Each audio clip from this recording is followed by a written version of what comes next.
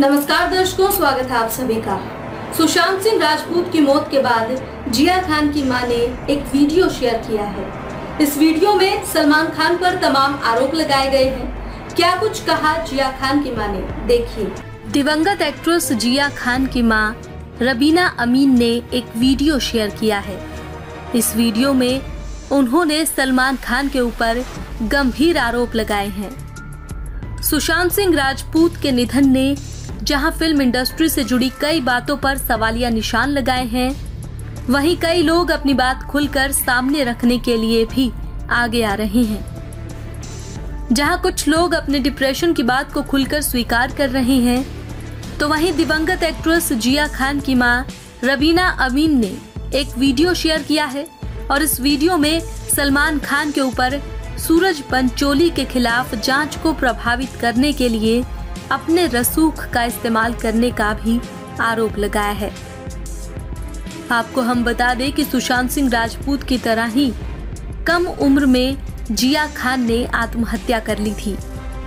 हालाँकि जिया खान की मौत आज भी रहस्य बनी हुई है, जो सुलझ नहीं पाई है। जिया का शव उनके मुंबई के जुहू स्थित घर में मिला था। जिया खान के बॉयफ्रेंड रहे सूरज पंचोली पर अभिनेत्री को आत्महत्या के लिए उकसाने का आरोप लगा।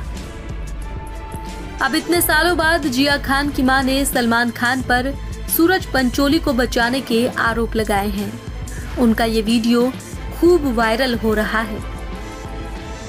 जिया खान की माँ रबीना अमीन इस वीडियो में सबसे पहले सुशांत सिंह राजपूत के निधन पर शोक जताती हैं और फिर कहती हैं कि बॉलीवुड में इस दादागिरी के खिलाफ जागना चाहिए। बता दें कि जिया खान का 2013 में 25 वर्ष की उम्र में निधन हो गया था। पुलिस ने इसे आत्महत्या बताया था।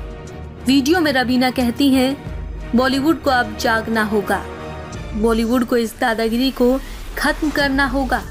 मैं ये कहना चाहूँगी कि दादागिरी भी एक तरह से किसी को मारने की तरह ही है। जो कुछ भी अब हो रहा है वो मुझे 2015 की याद दिलाता है। मुझे एक सीबीआई अफसर ने लंदन से बुलाया था। मैं उससे मिलने गई तो उसने मुझसे कहा था, आप आ जाओ, हमें एक अहम सबूत मिला है। मैं वहाँ पहुँची तो उसने मुझसे कहा, सलमान खान ने मुझे कॉल किया था। वो रोज़ाना ही मुझे कॉल करते हैं और कहते हैं कि वो बहुत पैसा खर्च कर चुके हैं। प्लीज़, सूरज पंचोली को प्रताड़ित मत करना और इंटेरोगेट भी मत करना। उसे छूना भी मत। तो हम क्या कर सकते हैं, मैडम? वह बहुत हताश नज़र आ रहा था। मैं इस मामले को दिल्ली में बैठी उच्च सीबीआई अफसरों तक लेकर गई और मैंने इसकी शिकायत भी की। अगर आप इस तरह पैसे और अपनी ताकत का इस्तेमाल, मौत और जाँच को प्रभावित करने के लिए करेंगे तो मुझे समझ नहीं आता कि बतौर सिटीजन हम कहाँ जाएँगे, किसके पास जाएँगे। मैं सिर्फ़ इतना ही कहना चाहूँगी कि खड़े होइए, लड़ें। प्रदर्शन करें और बॉलीवुड के इस जहरीले बर्ताव को खत्म करें।